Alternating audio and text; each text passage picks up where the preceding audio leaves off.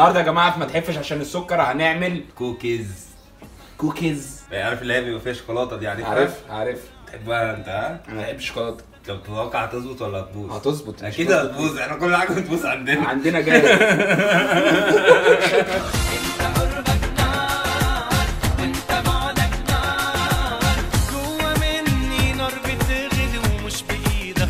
شايف الزبدة قد إيه؟ شايف دليل. إن هي تطلع مظبوطة آه إن هي تطلع مزبدة نص معلقة بيكنج باودر ده فانيليا أصلا. بالظبط كده.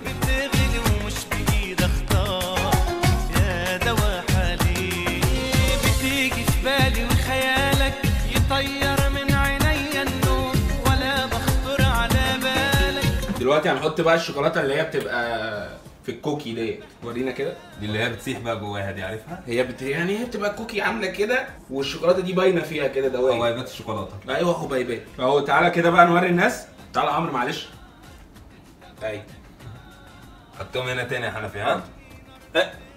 مش بايدي اختار يا دوا حالي. هنحط ورق زبدة بقى عشان ال- ما يلزقش. هنحط بقى على المعلقة زيت. عشان ما تلزقش في آه العجينة. العجينة ما تلزقش في في المعلقة. طب هي ليه شكلها عامل كده؟ طيب المفروض بتبقى مبططة. ما هي لما تستوي بقى المفروض يعني إن هي لما تستوي هتهدى. إزاي يعني؟ ما أشكالها عشوائية بص. هنشوف بقى لما تستوي وإحنا وحظنا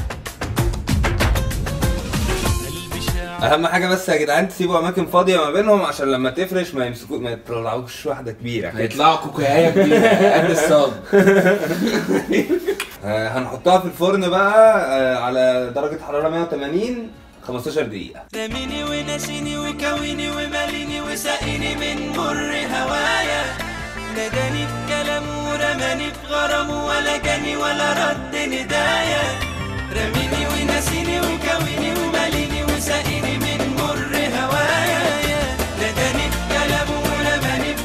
اتفضل يا أستاذ مصطفى. دوق بقى وقول لنا إيه رأيك؟ هي شكلها حلو المرة دي الحمد لله. لا شكلها حلو ريحتها حلو. الحمد لله. بس هي طرية. ما هي طرية عشان هي لسه طالعة من الفرن. المفروض بتتساب بره شوية فتنشف. لو في يوم هواجيها على بالي. قلبي هيقول أنا عايز أقول لك إن هي لما اتحمصت شوية من تحت بقت أحلى. بجد والله. جميلة دي. يعني طعمها حلو أصلا يعني؟ دي اظبط حاجة. اظبط حاجة عملتها من ساعة ما عملت الفقرة دي. شكلا وطعما. هو أنت مش هتقفل ولا إيه؟ يلا يا عم عايزين ناكل. لو عجبتكم الكوكيز تعملوا share للفيديو و like لل page